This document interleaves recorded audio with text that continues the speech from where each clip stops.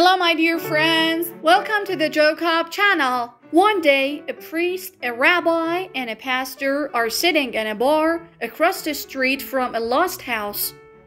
They are enjoying their drinks when they see a rabbi walk into the lost house. Oi! It's a shame to see a man of the cloth give into temptation, says the rabbi. A short while later, they see a pastor walk into the lost house. Damn it!